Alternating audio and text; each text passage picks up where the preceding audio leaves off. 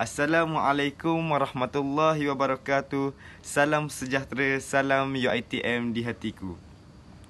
Sekarang adalah musim pelajar-pelajar memasuki alam universiti. Pelajar baru yang memasuki alam universiti dalam dan luar negara.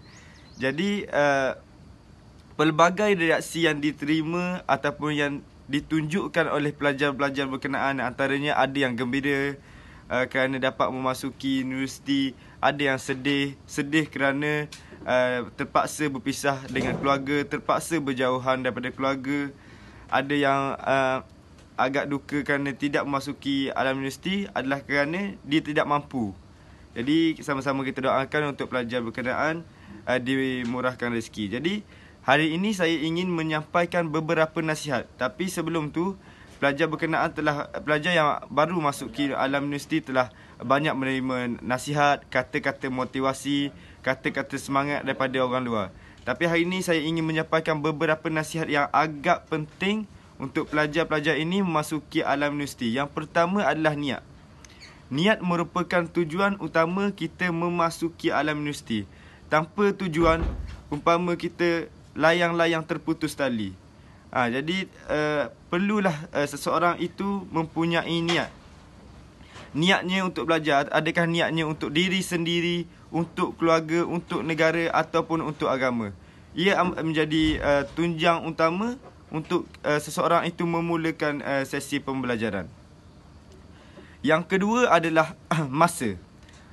Pelajar universiti ini perlulah jaga masa dengan sebaiknya. Kerana apa? Kerana sewaktu kita di rumah kita ada ibu bapa kita yang akan mengejutkan kita uh, bangun tidur, waktu untuk solat, waktu untuk makan, waktu untuk kita belajar ataupun uh, waktu-waktu yang penting.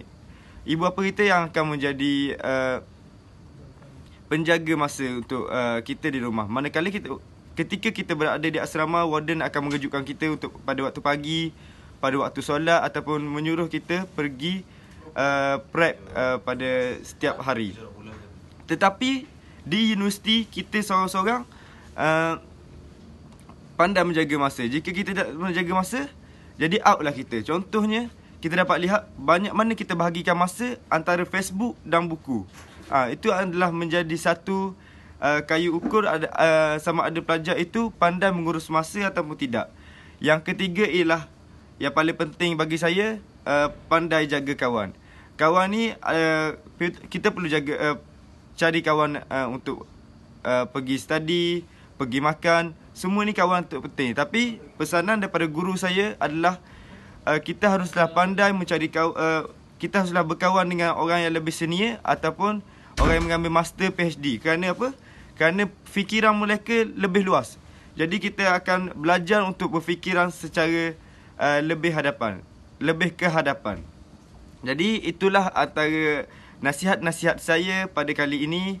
Uh, saya harap uh, sama-sama uh, dapat uh, mempraktikkan dalam dunia kehidupan di universiti ini. Uh, Assalamualaikum warahmatullahi wabarakatuh.